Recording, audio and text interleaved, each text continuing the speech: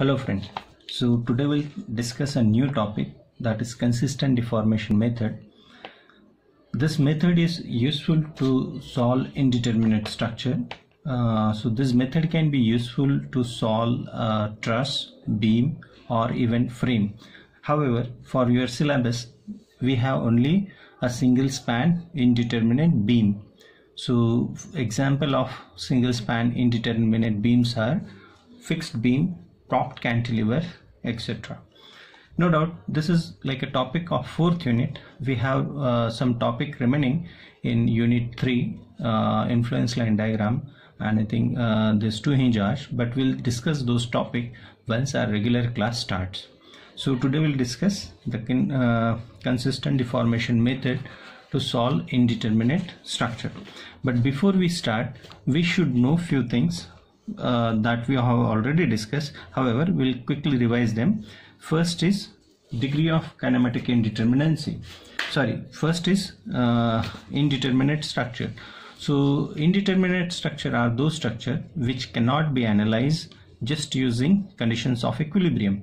So to solve those kind of structure, we need some additional condition and uh, those structures are called indeterminate structures. So this is very simple definition of indeterminate structure.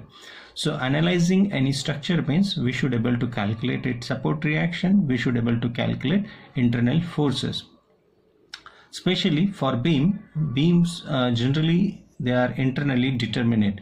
That means if you know the reaction then easily you can plot shear force bending moment diagram for given beam with given load. So uh, only unknowns will be reaction. So if your support reaction if we cannot calculate just by using condition of equilibrium then we say that beams are indeterminate.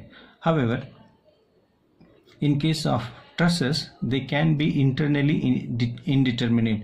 So it means like if you know reaction then also sometime you cannot calculate the internal force. If you have extra member in a truss then we may not be able to calculate the internal force in the member just using equilibrium condition. But for beam uh, they are always internally determinate. So we can calculate the internal member force. Internal member force in a beams are or in a flexural member are shear force and bending uh, bending moments. So we can calculate easily bending moment and shear force if you know the reaction component.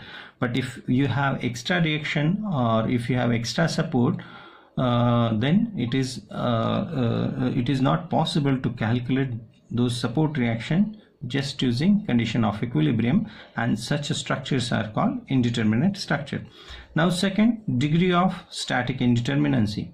No doubt we have discussed this uh, degree of static indeterminacy in detail in unit 1. However, like uh, degree of indeterminacy is extra number of forces that we have over and above the equilibrium equations. For example, in this cantilever beam, if you see, if there is no the support, then there will be only two reaction here that is friction moment and vertical reaction. But because of this extra support this beam becomes indeterminate beam and this this uh, beam is called propped cantilever beam. So this is typically a prop support.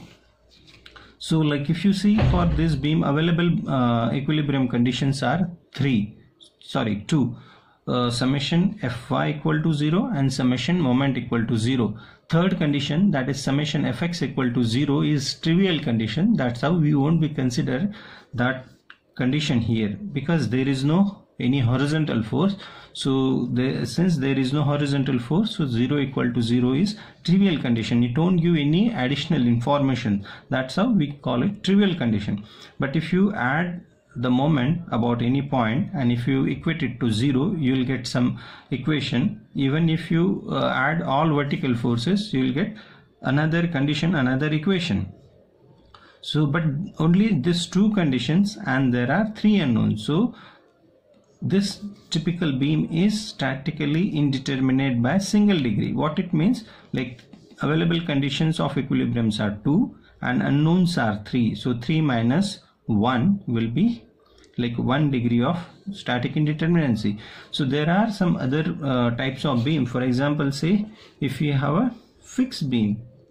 So if both ends are fixed then such beams are called fixed beam. So if you see for this beam will have like four reaction component. So since for this beam also available equilibrium conditions are only two that is summation fy equal to 0 and moment equal to 0 and we have like four unknowns. So this problem is statically indeterminate by second degree. So this is like a higher uh, degree indeterminate problem.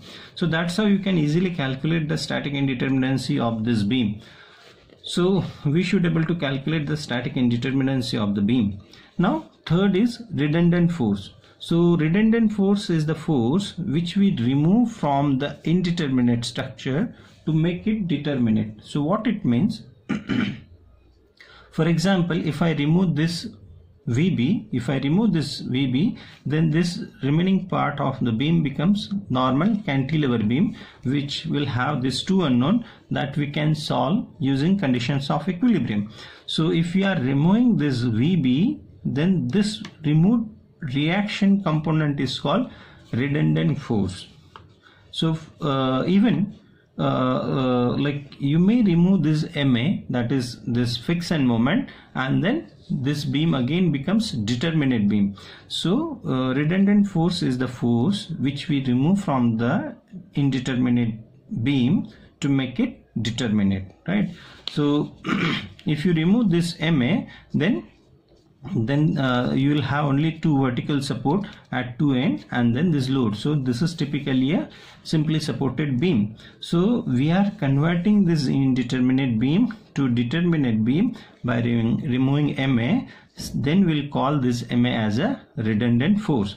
No doubt as I told we can do that by removing the VA reaction also. So if you remove VA reaction then also the beam becomes determinate. So then in that case uh, sorry VB we are removing. So in that case VB will be your redundant force. No doubt we cannot remove VA why? If you remove this VA then this beam may become unstable. So we should not consider those kind of reaction component. And we are free to select that uh, redundant force in a problem.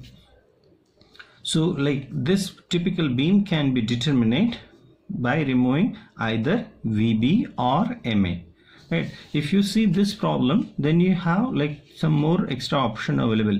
For example you remove this two reaction component and then this beam becomes cantilever beam. Another way you remove this two moment then this beam become simply supported beam. So static uh, degree of static indeterminacy tell you that how many redundant force that you need to consider uh, uh, like to uh, make the beam determinate. So this is like fundamental three things that we should know. Now we'll come to the uh, this consistent deformation method. So uh, as such this is the first method that we are discussing to solve indeterminate problem. That is consistent deformation method. So what what we have we will be doing we'll be converting this actual problem into two beam or two beam. So this given beam we can convert it into the two beam. No doubt you have this option also. Like either you do this way or this way. Both way you can work it out. So we'll we'll go with this option. So uh, using the principle of superimposition we can consider two separate effect and we can add them to get the actual effect of the beam. So what we are doing we are removing this vb so that like this beam becomes determinate beam or determinate cantilever beam right? So if you remove this uh, reaction support at at B point then definitely this will deflect and that deflection I am calling delta B dash 1 another thing now we'll consider uh, the beam and we'll apply without external load this the removed or redundant force on the cantilever beam same cantilever beam. And uh, because of this force there will be a deflection of delta dash 2 now in actual problem deflection at B point is 0 since we have this support reaction. So it tells me that if by principle of superimposition addition of this two deflection should be equal to this deflection which is 0 so therefore we will calculate uh, th that means this delta b1 dash and delta b one uh, b2 dash they should be same but opposite in direction. Then only the addition of these two deflection will be zero. There are some problem where there can be some gap or there may be a settlement or support is like a spring support. In that case there is some other way to solve it. We'll discuss that little later but here for this problem there is no deflection so the addition of these two deflection should be equal to zero. So uh, for for this part of the beam we can calculate this delta b1 dash. This deflection we can calculate using conjugate beam method but since this is a standard case so for that standard case the delta b1 dash is given by wl raised to 4 by 8 ei no doubt this can be calculated using conjugate beam method or for complex load definitely we have to use conjugate beam method. So we'll discuss some problem uh, where we'll be using this conjugate beam method. So I would suggest you to revise this conjugate beam method before we solve more complex problem so because of this UDL over the full span on a cantilever deflection of free end is given by W L raised to 4 by 8 EI and for this portion like we are applying point load at free end no doubt it is upward but then uh, we know that if there is a point load at free end the deflection of the beam is given by uh, PL cube by 3i but instead of P we have VB so we'll substitute VB L cube by 3ei now as I told that actual deflection is zero in the beam so addition of this two should be zero or like in other way they should be equal in magnitude. So if you compare these two, we can easily calculate value of VB. So like we are using additional condition here from the geometry to solve this problem. So, so now if you compare this two deflection that is uh, delta b1 dash and delta b2 dash what we'll get is wl raised to 4 by 8 ei equal to vb l cube by 3 ei and then like you just simplify this from that we can calculate vb must be equal to 3 by 8 wl and once you get this one then uh, unknowns will be two that two unknowns you can calculate using conditions of equilibrium. So using summation fy uh, equal to 0 definitely determinate beam also satisfies the conditions of equilibrium. So many people many students they, they write in exam that uh, determinate beams only solve conditions of equilibrium but it is not like that. To solve indeterminate beam the conditions of equilibriums are not sufficient. However they satisfies the condition of equilibrium. So uh, if you use those two conditions of equilibrium then easily you can calculate remaining two unknown reaction. This is how you can use the uh, consistent deformation method to find out these unknown forces. So we can use this uh, consistent deformation method to solve indeterminate problem. No doubt this is very simple example uh, we'll consider little more complex example but before that I'll also discuss how to plot shear force and bending moment diagram for like uh, indeterminate problem. No doubt as such it is not that difficult. It is uh, almost same procedure that what we have followed. So to calculate shear forces like we use uh, this sign convention left to right upward positive downward negative right to left uh, downward positive and upward negative. That sign convention you know. And you know very well how to plot shear force bending moment diagram. So I'll just discuss that again. Uh, this is to re revise you. As such calculation of shear force uh, are almost same what we did in case of bending moment diagram. Sorry in case of determinate beam. So like if you see here like we'll calculate uh, shear force at point B but since we have this concentrated reaction VA so we have to calculate on either side of this v, A point. So if you are on left hand side of point A there on there is no any more forces so shear force will be zero. But once you cross this point A you will get this VA reaction and because of that there will be a shear force. So like here shear force at A on left hand side is 0 shear force at A on right hand side is positive 5 by 8 WL now uh, again we can calculate shear force at uh, B point on left right since again we have this concentrated force or reaction. So again on uh, right hand side of point B the shear force will be 0 and left hand side of the B it will be uh, this reaction or you may calculate it from this way. And we also know that uh, if there is a UDL then the variation of bending moment diagram uh, sorry shear force diagram is linear. So we'll calculate this two point and we'll connect them. So this is typically how we uh, draw shear force diagram. So it is exactly same that we have to follow here as well no doubt we need to calculate even this point of contrast shear. So point of contrast shear can be calculated by comparing this two triangle and it is uh, located at 5 by 8 L. Now uh, this is more important. Uh, like here if you see carefully then uh, this parabola is from the uh, like by considering this beam as a simply supported beam and calculating bending moment due to this UDL so that will look like a parabola. And then due to this VA so if you if you have like a concentrated moment at free end another end there is no moment then that bending moment diagram will look like a triangle. But this moment is negative and moment due to this UDL will be positive or sagging moment. So this is like a sagging moment due to UDL and this triangular portion is the hogging or negative moment due to this support reaction.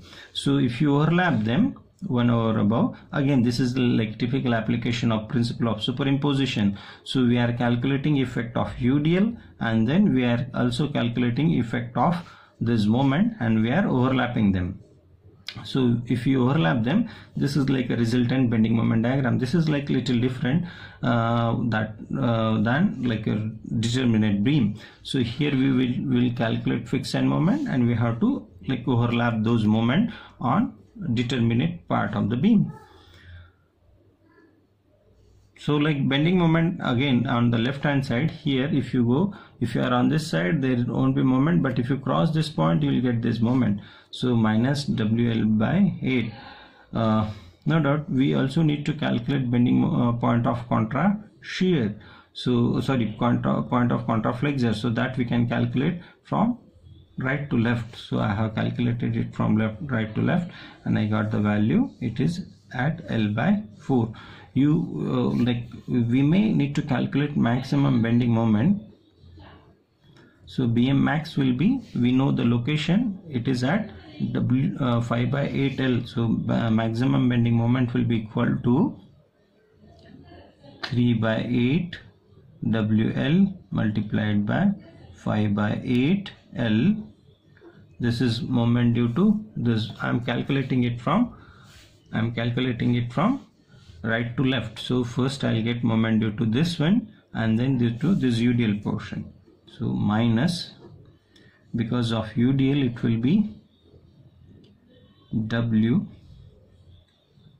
5 by 8 L bracket square by 2 so like if you simplify this you'll get the maximum bending moment at this location.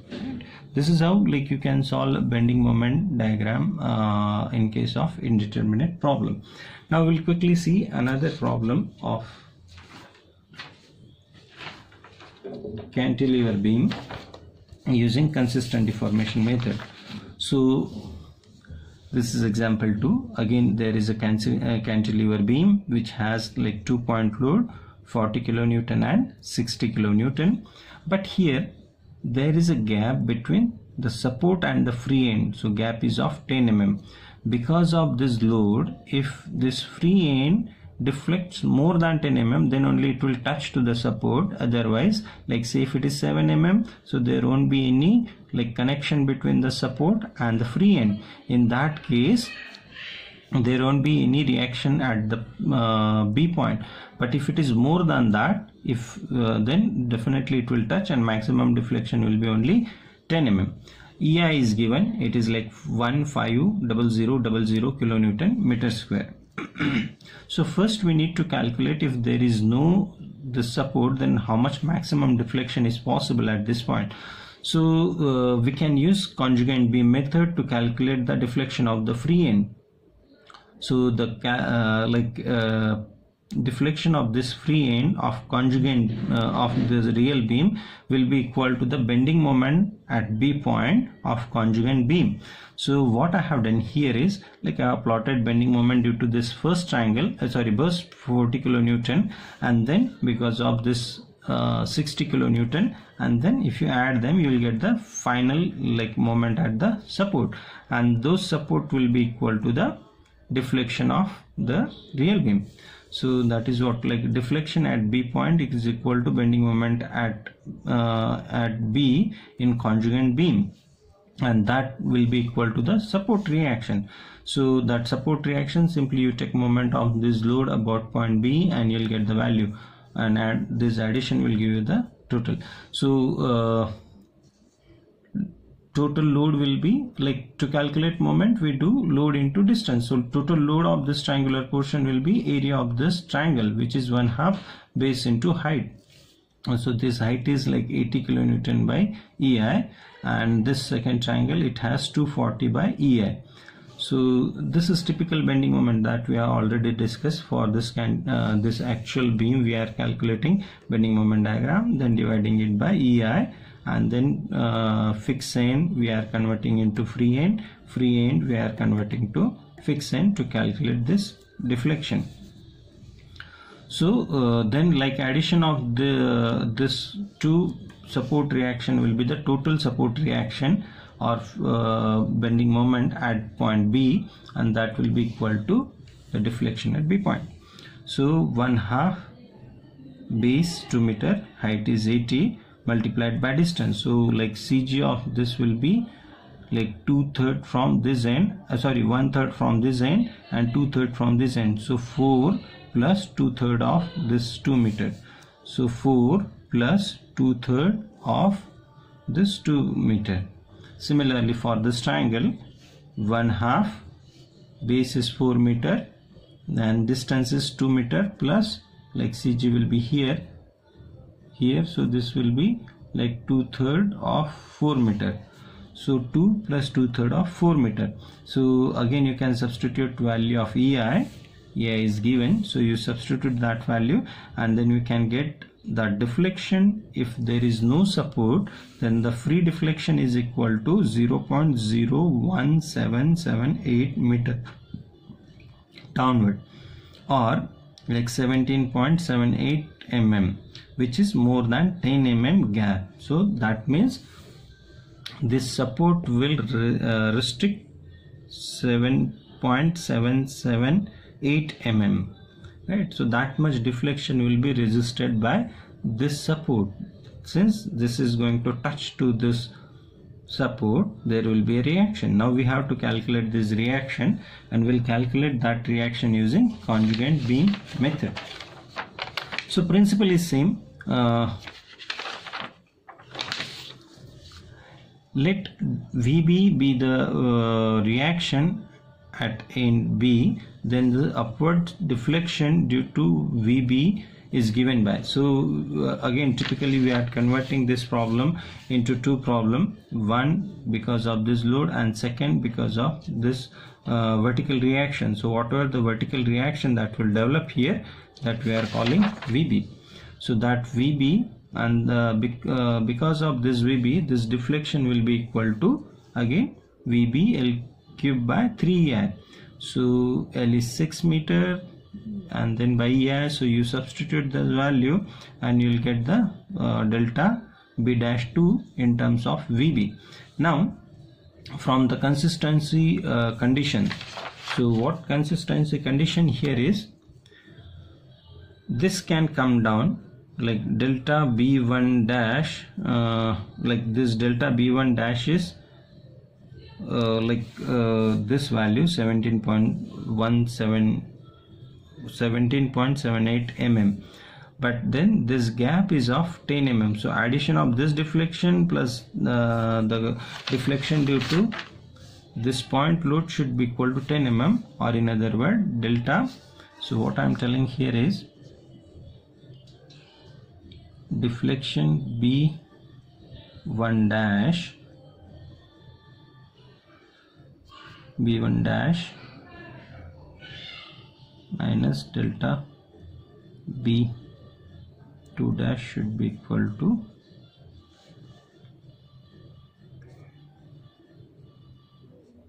ten mm right it should be equal to 10 mm so like deflection due to actual load minus deflection due to this point load should be equal to 10 mm uh, or if you rearrange the term then you will get delta b2 dash is equal to uh, delta b1 this is like a uh, deflection of actual beam and this is like a free deflection. So this much beam can deflect. So if you substitute like delta b1 dash like we already calculated delta b1 dash and then uh, you substitute value of delta b2 dash. And from that you can calculate vb which is equal to 16.2 kilonewton. Now again you use condition of equilibrium summation fy equal to 0 and from that we can calculate VA which is equal to 38.8 kilonewton. And if you sum up the moment about point A then we can calculate MA equal to 2 to 2.8 kilonewton. So uh, this is not homework but just I am asking you to think on this kind of problem. Say there is a beam of 2 meter length uh, which has like a which is supporting a load of 200 kilonewton per meter.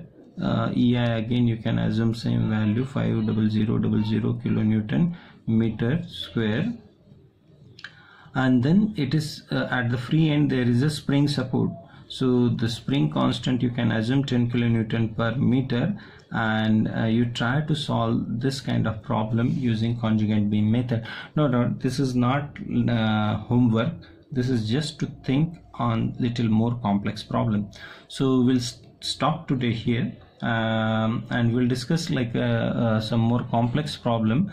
Complex in the sense we'll discuss a problem with a higher degree of indeterminacy in next class. Okay thank you